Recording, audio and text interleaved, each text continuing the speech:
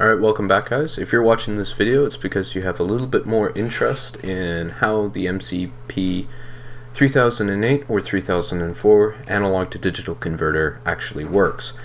Uh, in our previous videos, we showed how you can pull the data from the chip using these two lines of code here, and I said that I would explain how it works in a later video uh, for those interested. So the way the sensor works is you send in 3 bytes of data, and this is specified in the um, data sheet here. So if we scroll down to, this is a 40 page uh, data sheet, if we scroll down to page 21 here, uh, you have to transmit data to the chip because if you're going to want to get a reading from the chip, the chip needs to know which channel to read. We have eight channels, right? So you have to specify which channel you want to read, and you do that by sending a bit, um, or sorry, a byte with the first bit as a 1 and all the other bits as 0. So this is kind of like the start signal like, hey yo, we're about to tell you what's going on.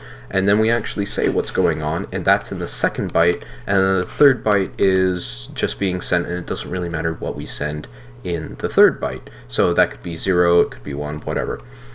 What we get out after sending in 3 bytes is 3 bytes of data back. So we get the first byte, which for us doesn't really matter, and then we get the second 2 bytes, now, because this is a 10-bit chip, we get 10 bits distributed over um, 2 bytes. So our last byte has 8 bits, and we have 2 bits here. Now, keeping that in mind, let's go back to what we have to send the chip. So the second byte has these bits here highlighted like these are the ones that we that it interprets so it, it, it tells you whether or not you want a uh, what kind of signal you want. Now if we roll up to page 19, this is configure the bits for the MCP 3004 or for the 3008. Since I'm using the 3008, we'll focus on this one here.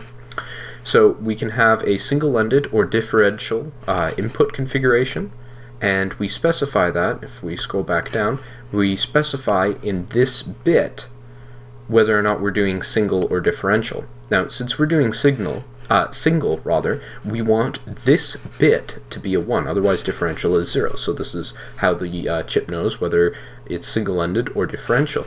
We then specify which channel using these three columns here, D0, D1, D2, which one we want to call. And for those who know binary, this should be pretty straightforward, but for those who don't, let me explain how binary works really quickly. So, binary, ones and zeros, right?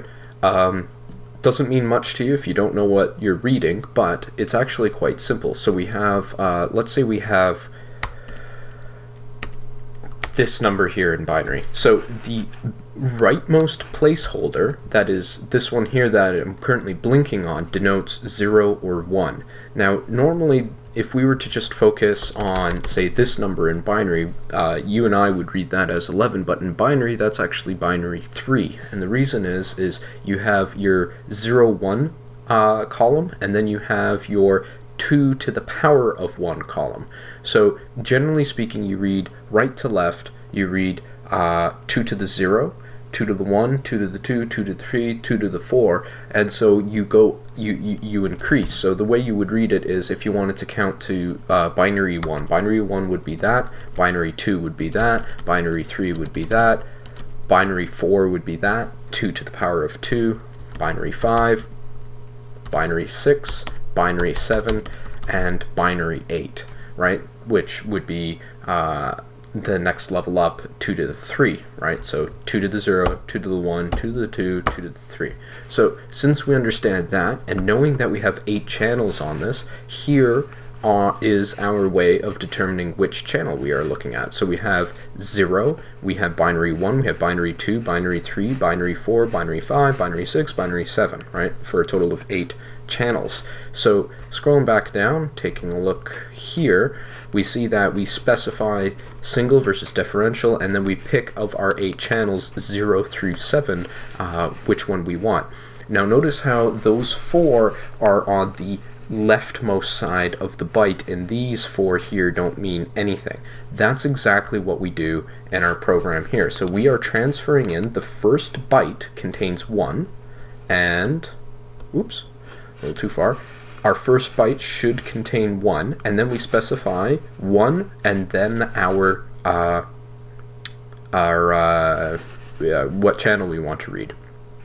So we add together 8 plus channels. So 8 in binary, as I mentioned, is this number here.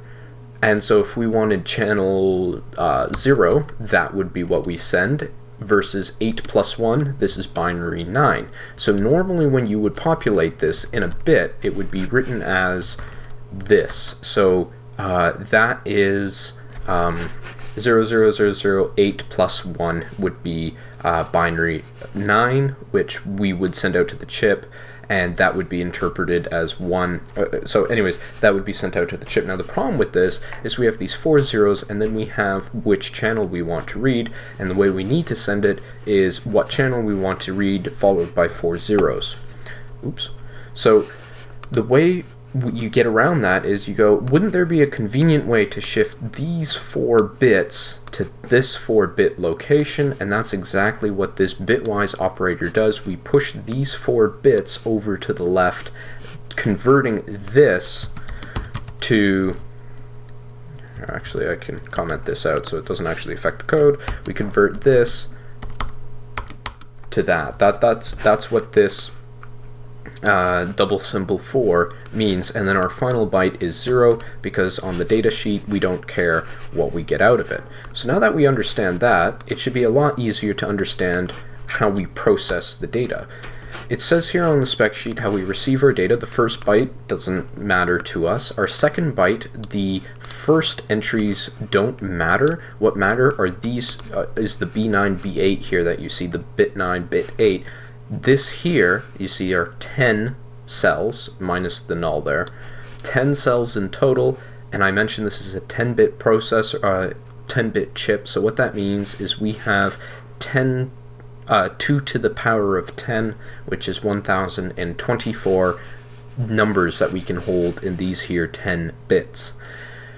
Now, this is how we receive our data but we want to combine all of this into something that we can actually actually understand in Python, like a binary, a complete binary number. We don't want to have two bytes. We want to have one value that holds everything. So we are getting this second one, which holds uh, this second byte, which holds the the last two bits in it, and we want to shift these bits to the leftmost position of our bit string, if you want to call it that, that we would have running in Python. So that's what we're doing here. So we're calling on the second byte and only the last two positions of it, and we're shifting them eight positions to the left. So normally we would be importing uh, one, two, three, four, five, six, seven, eight for example, let's say if we were to import this value here, we're only focusing on these two values and then we're shifting them eight positions over.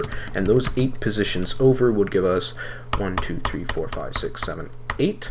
Okay, so we if if this is what we had at the end of our uh, byte, we now transformed it to this, and then we append to it the binary values of our second byte. And this could be a series of ones and zeros but there's only eight bits in this byte. So we, we, we add these eight bits if it's appropriate. So let's say this here is that second byte which, you know, some of these are going to be ones and some of them are going to be zeros. And now we have this number here, which is binary representation of our reading. So that would be from 0 to 1023. And that's what these two statements do.